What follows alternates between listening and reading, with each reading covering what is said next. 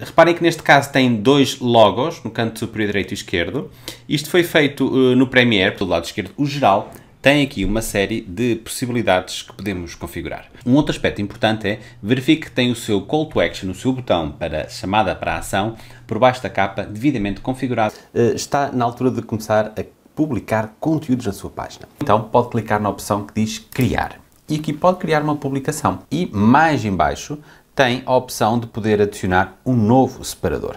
Agora, ele pede-me para adicionar um serviço, eu vou colocar, por exemplo, aqui, se tem produtos que precisa de vender uh, no Facebook, mesmo tendo a sua loja online, que deve ter no seu website, pode fazer pedidos de adesão, ou seja, fazer algumas perguntas. Um tipo de publicidade muito interessante é o Facebook Leads. Depois disso, basta clicar em confirmar no botão verde e o seu anúncio fica concluído.